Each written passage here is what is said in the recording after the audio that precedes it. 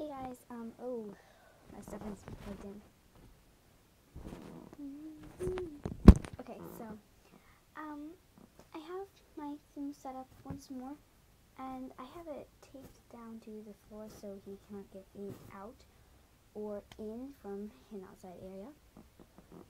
So what we have here now is his wheel, silent spinner, and then we have this like always. Yeah, it's something more private, and it's this thing, and it goes like this, and I kind of face it to the wall. This is the wall, so kind of like that. So I have these little things to choose on. They're just little pieces, and then I have this thing for my hair. He likes to um not chew on it, but he likes to um rub up against it. You know what I mean? He's walking his territory. And also he will lay on top of this, so they're very comfortable. I get the extra large for my hair because my hair is so long. So I have a water bottle in there, and then I have a shoe. Don't don't ask why. He likes to sleep in it.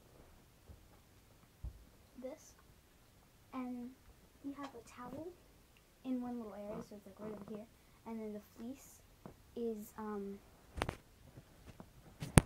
this gray fleece, and I'm gonna have to clean his fleece out later, and he will get the cheetah print. Now you see, I already have cages for um a guinea pig and everything. Um, we're gonna be getting a guinea pig when my snowball passes, and he's hopefully not close because we've only had him for about a week. So a lot of my guinea pigs, not guinea pigs, hamsters, um, I got him at eight months, so it's gonna, um, he's supposed to last about three months. So, and so he lives.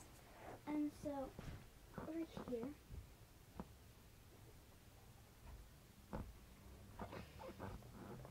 we have Carefresh bedding, which he also uses as his bathroom, and he puts his food in here, as you can see. I think he's trying to hide it, but it doesn't always work.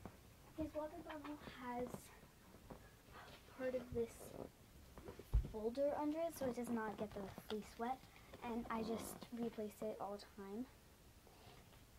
And so I use the five star things because they're kind of like waterproof-ish. And so if you don't want to use that, just get some packaging tape and lay it right down there. Okay, go ahead and just try it up every now and then. So what I made my thing out of is that it's taped down. Let me just show you guys. This is what it is. Beautiful. So here it is. So here's his little private area. Whoa. His little private area over here. He's got his wheel, ooh, shoes, water bottle, hamster stuff. And so I keep his food right. Whoa, I can't do this. I usually keep his food in one of these things. I'll um take it and I'll make a circle. I'll lay it down in the cage and then I'll pour some food in it. He'll knock the thing over and just put it in there. So that's how I can it does. So let's over to his cage. Let me turn on my light.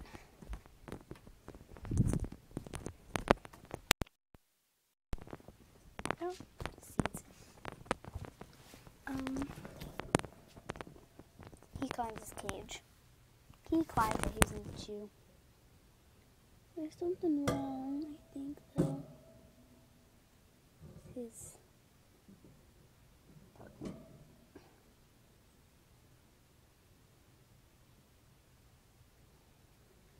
We got him from PetSmart um, Hospital. PetSmart Hospital, ha! So, he's not expected to live too long. I have these little things in here, and they used to have food in them until he destroyed them. I have duct tape roll. I'll just show you guys. His little cage. His wheel.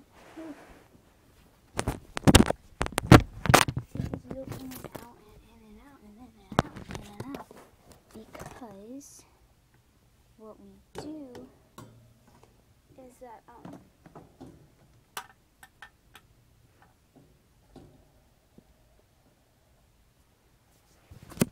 we have to keep taking it in and out because he stays in his playpen more than his cage.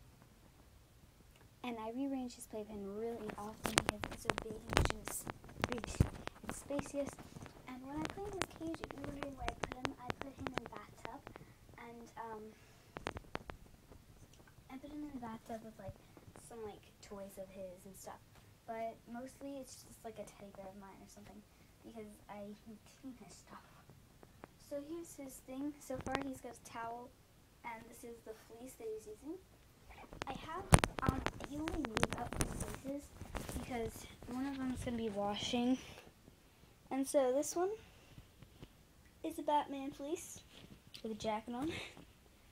So it's Batman. Um,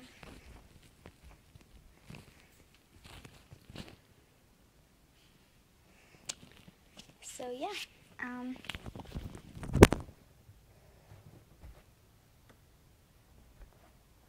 so that's it guys. Um, also when I feed him, I feed him with one of these little chopstick thingies. I'll put it on the end and I'll stick it in his cage like this and it's the flat end too, so, so just be like, Ooh. Has a little head over here.